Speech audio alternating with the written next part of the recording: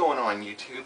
Disabled Outdoorsman here, talking about the outstanding and awesome Ontario Utilitac 2.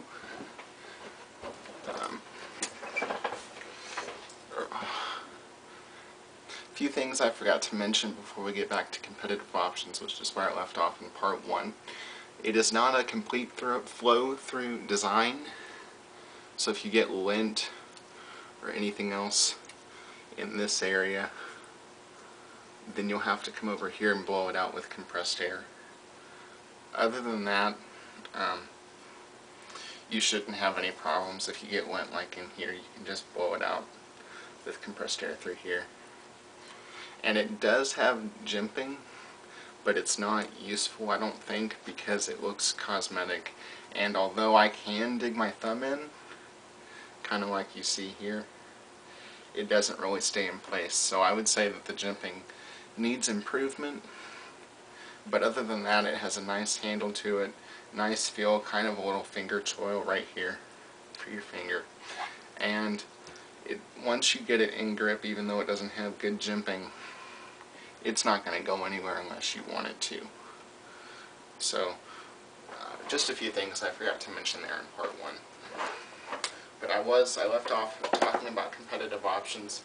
Like I said earlier in part one, the knife is about $46, $47, at least where I purchased it it was. Now that was from MidwayUSA.com. I like going to Midway, I think they have good prices. And reasonable prices for their items. If you know of some other knife place that I don't know about, then you might be able to score that knife for cheaper. But if you can't, or it's too much, then I recommend that you buy the Ka-Bar Dozier.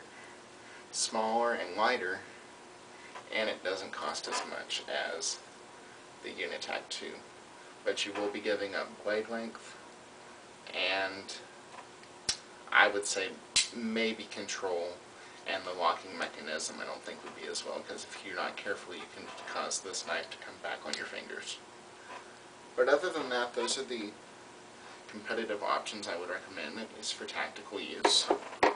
Um, but so far, it has a good track record, at least for me.